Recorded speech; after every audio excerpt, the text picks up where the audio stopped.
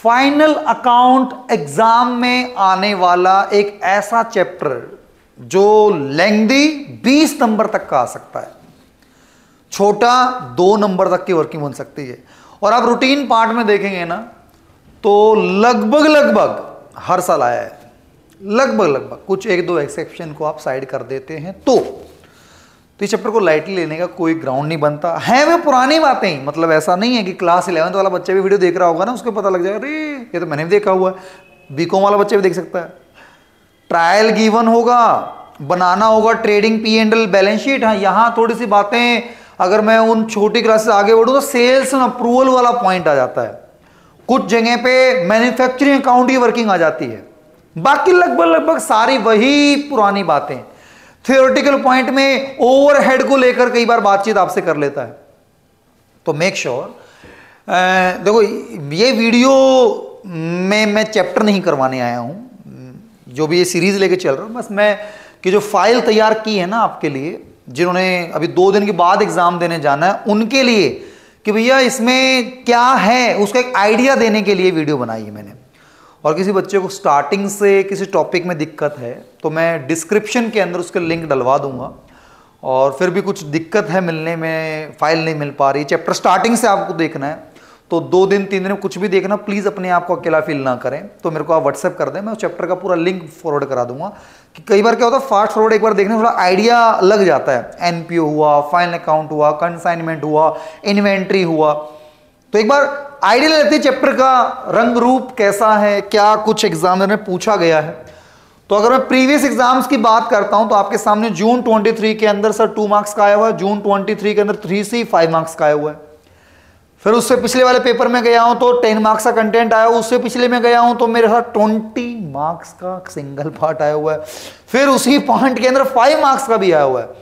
फिर मैं उसे पिछले अटेम्प्ट में गया हूँ तो फाइव मार्क्स का है। उसी अटेम्प्ट के अंदर फाइव मार्क्स तो अप्रोक्सीमेटली टेन फिफ्टीन इस रेंज में खेल रहा है। फिर उसी, उससे थोड़ा पीछे गया हूँ टू फाइव और इसी में टोटल मिला लो। ये दिसंबर ट्वेंटी वन एक ही अटेम्प्ट है, चार चार चार क्वेश्चन आए हुए हैं। ठीक है ना? तो इन सबकी फ़ाइल सारी, ये मॉक टेस्ट का एग्ज़ाम्पल पार्ट देख लीजिए। मॉक पार्ट के अंदर आए हुए सारे सारे कंटेंट अब यहाँ तो जून 22 है, लेकिन पीछे वाली फ़ाइल जो है, वो इसमें इंक्लूड की इंडेक्स के अंदर मैंने उस पॉइंट को डाला नहीं होगा। तो अब यहाँ पे अब थियोरिटिकल प्रैक्टिकल अब लास्ट स्टेज में क्या होता है? एग्ज़ाम हॉल के बाहर खड़े खड़े भी फटाफट बार cut cut cut cut cut question भी है आंसर भी है, और इससे बाहर देखना ही नहीं भाई। इससे बाहर मैटर अब इन दो दिनों में नहीं करने का। अगेन जो कोई बच्चा जून अटेम्प्ट या अगले वाले अटेम्प्ट के लिए देख रहा है तो भैया इस फ़ाइल के बेस पर आपका चैप्टर नहीं हो पाएगा। पहले आपको बेसिक वर्कशीट लगानी पड़ेंगे। पहले आपको उन क्वेश्चंस की सारी वराइटी हाँ ये बिल्कुल आखिरी कि मेरे को बिल्कुल एग्ज़ाम हॉल के अंदर एंट्री मारनी है। तब ये फ़ाइल आपकी राम बाणिलाजर मैं ऑन रिकॉर्ड कह रहा हूँ, जिस बच्चे ने ये खेल लिया sixty seventy percent as it is working you plate पर रख के आएँगे। ओ ले बेटा। और फिर बच्चे अरे, देखी तो थी। फिनिश नहीं की थी। अरे रे, इससे बड़ा पाप तू क्या कमाएगा ज़िंदगी में यार? सारी वर्किंग डिट्टो तेरे सामने की हुई, यूँ की यूँ आ गई, और फिर भी तू कह रहा है मैंने वर्किंग लगाई नहीं थी। ऐसा गेम तो मत खेलना यार। प्लीज़ रिक्वेस्ट कर रहा हूँ तेरे से। चलिए तो overhead is defined as a total cost of direct material direct wages and direct expense बिल्कुल झूठ बोल रहा है। ओवरहेड में इनडायरेक्ट की बातें होती हैं। ठीक है, मैं मोटा मोटा वैसे दिखा देता हूँ। हालाँकि अभी इस फ़ाइल में क्वेश्चन बहुत सारे हैं तो जिनको जो वर्किंग में डाउट हो सॉल्यूशन देखो ना समझ में आए तो मेरे से पूछो। देन जितना पॉसिबल होगा, हम करेंगे वर्कआउट लेकिन सॉल्यूशन मैंने सबके दे दिए। तो ये आपके सामने कह दिया कि भैया सेल्स अप्रूवल बेस की वर्किंग है ओके और ऑल ट्रांजेक्शन जो हम एक्चुअल सेल मानते हैं, जब हम अप्रूवल पे सामान भेजते हैं, दो तरीके होते हैं। हमने उसको सेल माना, हमने उसको सेल नहीं माना। ठीक है ना?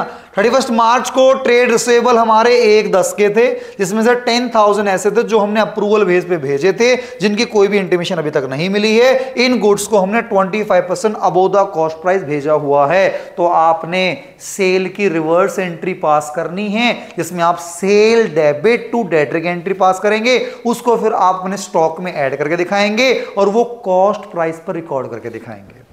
तो जिन बच्चों को ये स्टेप नहीं पता है सेल्स प्रो वाली क्लास का लिंक मैं डलवा दूँगा, उनको आराम से गो थ्रू कर लेना और उसके बेस पर ये एंट्री ये आपके सेल प्राइस पर हो जाएगा।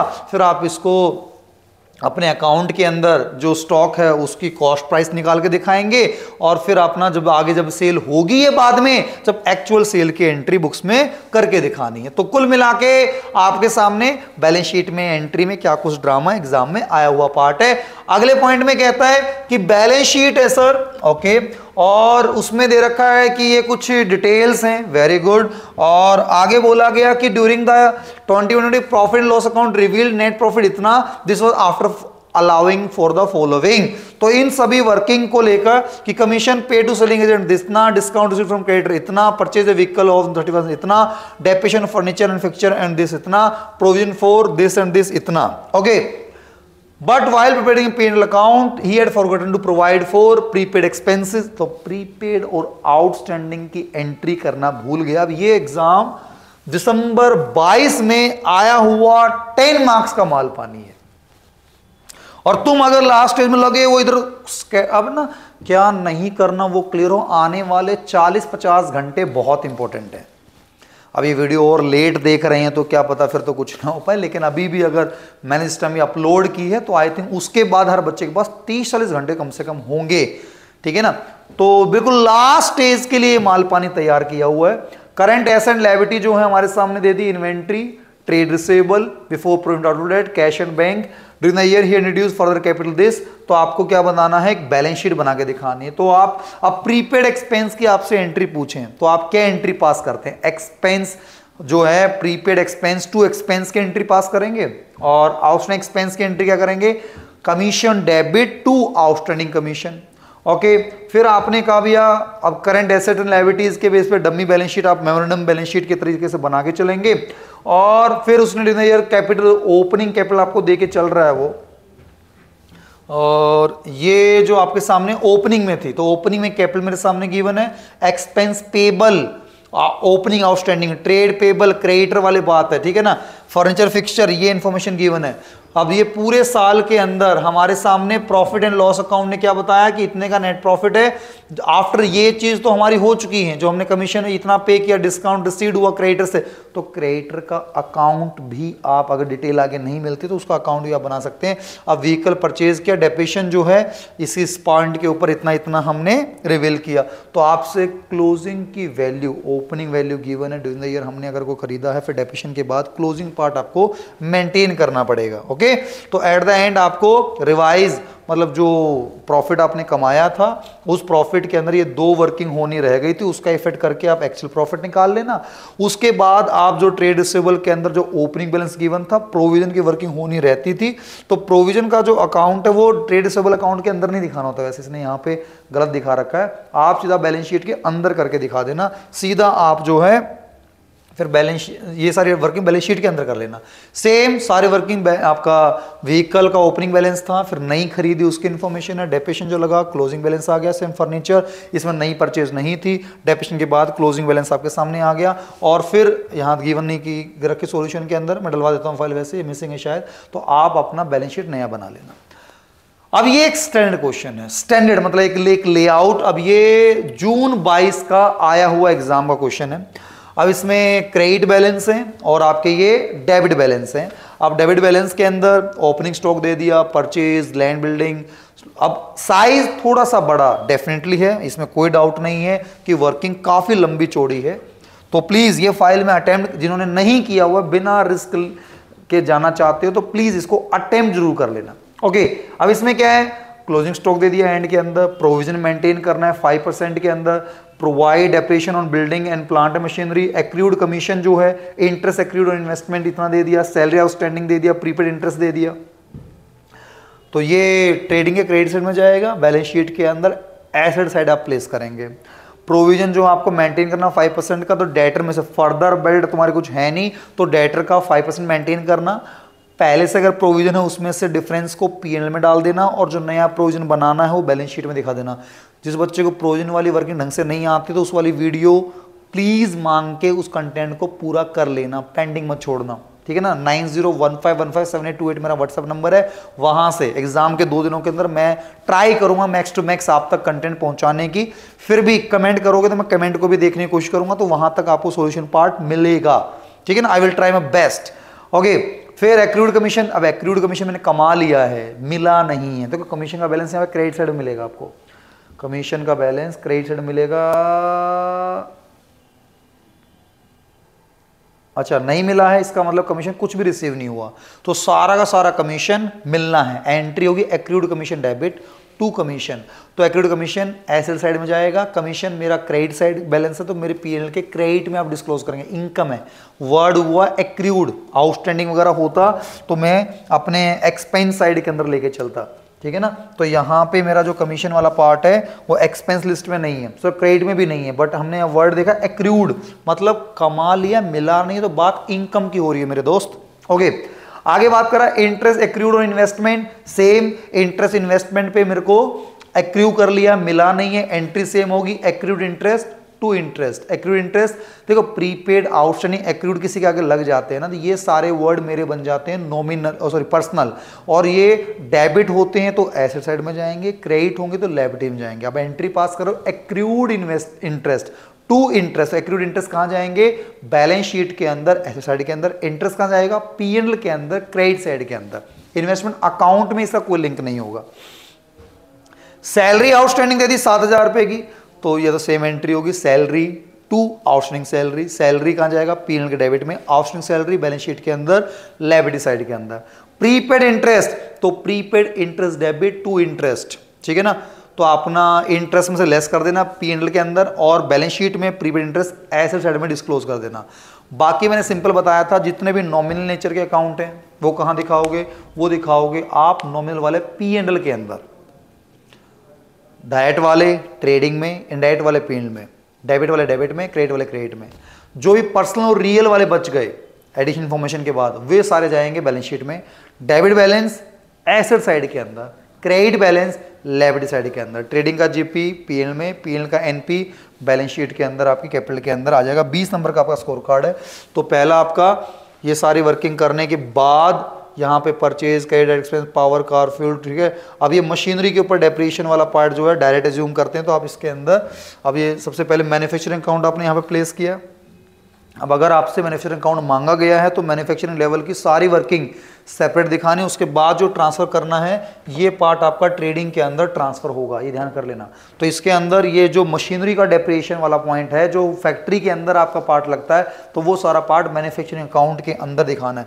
तो जो आइटम अभी तक आप ट्रेडिंग में दिखाते हुए आए थे, वे सारे के सारे आपके यहाँ मैन्युफैक्चरिंग पॉइंट में डिस्क्लोज होने फिर ट्रेडिंग में जो ओपनिंग स्टॉक था, जो मैन्युफैक्चरिंग पार्ट से ट्रांसफ़र होकर आया, अब जितने की सेल हुई, इसमें रिटर्न लेस करके तो आपका क्लोजिंग स्टॉक ट्रायल के बाहर था, इसलिए हम ट्रेडिंग के क्रेडिट में डालेंगे और ये मेरा जीपी पार्ट यहाँ पर रिकॉर्ड हो गया। फिर बारी आ रही है पी एंडल वाले कंटेंट की तो पी एंडल वाले पॉइंट में आपका जीपी ट्रांसफ़र हुआ डेबिट साइड में सारे के सारे क्रेडिट साइड में सारे के सारे इस तरह से रिकॉर्ड हो गए। तो ये नेट प्रॉफिट आपकी बैलेंस शीट के अंदर ट्रांसफ़र हो गया और इस तरीके से आपका ट्वेंटी मार्क्स का स्कोर कार्ड बनता। तो जिस वैल्यू में कहीं भी ऊपर नीचे लगता है कमेंट करो, इसको आंसर आता रिप्लाई कर दो, नहीं सोल्व होगा तो मैं उसके अंदर आपके लिए वीडियो बना के दे दूँगा।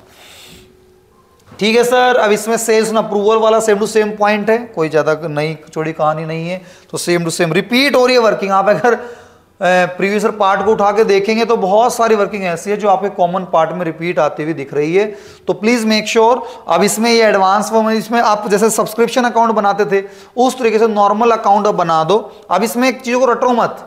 तरीका बताऊँ, आप जैसे आउटस्टैंडिंग सब्सक्रिप्शन था प्रीपेड सब्सक्रिप्शन था। आउटस्टैंडिंग मेरे लिए लैबिटी है तो लैबिटी वाले पॉइंट के अंदर आप क्रेडिट साइड में बीडी ठीक है ना? अगर मेरा आउटस्टैंडिंग है और अगर इनकम मिलनी तो एसेट है तो वहाँ डेबिट में बीडी अगर कोई एक्सपेंस आउटस्टैंडिंग है तो क्रेडिट में बीडी तो इस चीज़ को लेकर ना कंफ्यूज नहीं होने का, मैं फिर भी चलो आपके लिए थोड़ा सा टच कर देता हूँ उस पॉइंट के अंदर।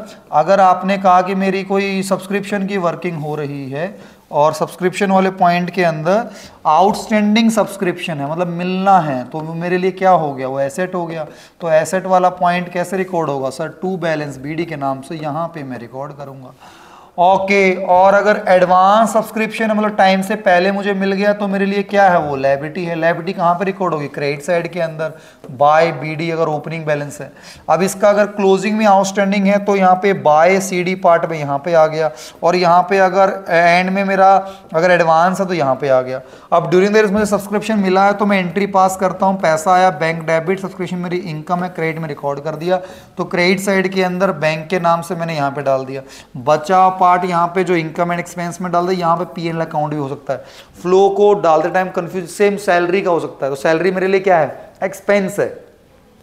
तो सैलरी अगर मेरे लिए एक्सपेंस है और वो आउटस्टैंडिंग है तो लेबिटी है। तो यहाँ पे आउटस्टैंडिंग सैलरी मेरे लिए लेबिटी है।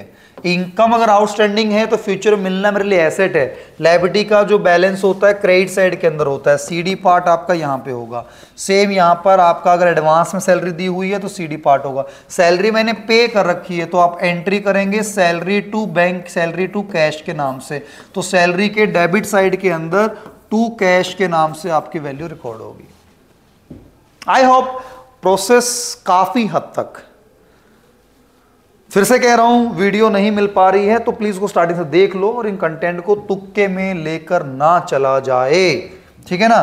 तो ये वर्किंग इस चैप्टर की नहीं है, ये गलती से यहाँ डली हुई है, इसको आप अपना एवरेज रेट अकाउंट करंट वाले पॉइंट में डाल देना। अब ये ये मैंने थ्योरेटिकल वाली जो वीडियो डाली है, उसको पूरा एक्सप्लेन किया हुआ, उसमें सारे पॉइंट एक्सप्लेन है। अब ये ट्रायल बैलेंस है सेम टू सेम इसमें कोई ऐसा नया मतलब हटके कुछ पॉइंट नहीं है। सिंपल पॉइंट में आपसे मांगा क्या गया था कि इस इंफॉर्मेशन को drop of books as on defence तो इसके बेस पर डेबिट वाले बैलेंस डेबिट साइड में क्रेडिट वाले क्रेडिट में, इसमें याद करने के लिए एक्सपेंस के और एसेट्स के बैलेंस डेबिट होंगे इनकम के और लाइबिलिटी के बैलेंस क्रेडिट होंगे। इतना ध्यान करके चलना है। ओके तो प्लीज़ इस फ़ाइल को पूरा लगा लेना। मिलते हैं अगली फ़ाइल के अंदर। जस्ट मैं एक बार ओवरव्यू दे रहा हूँ कि चैप्टर के अंदर कुछ भी मिसिंग है, कि वीडियो डलने के बहाने कमेंट में अगर कुछ मिलता है then we can work out in the some further videos और उसके लिंक्स एंड ऑल दैट आपको इकट्ठे मिल पाए। ठीक है ना? तो अभी बिल्कुल दो दिनों के अंदर अंदर आपको एग्ज़ाम हॉल में जाना है तो पैनिक होने की रिक्वायरमेंट पहली बात नहीं है। जितना समेट सकते हैं उसके लिए अगर ये चैप्टर है आपका एनपीयू चैप्टर है आपका कंसाइनमेंट चैप्टर है आपका एडमिशन है तो इन तीन चार चैप्टरों के फुल फ्लेस क्वेश्चन तो आपको लगाने पड़ेंगे। अगर पहले नहीं लगाए हुए हैं तो कहीं कॉन्फिडेंस ऊपर नीचे हो रहा है तो उसके बेसिक से थोड़ा बहुत पार्ट ओवरव्यू करके फटाफट देख लेना। अब आपको नए क्वेश्चनों पे नहीं जाने का, पुराना ही मटेरियल आपको लगाना है दैट सेट ठीक है ना? अब मिलते हैं अगले चैप्टर के अंदर। Thank you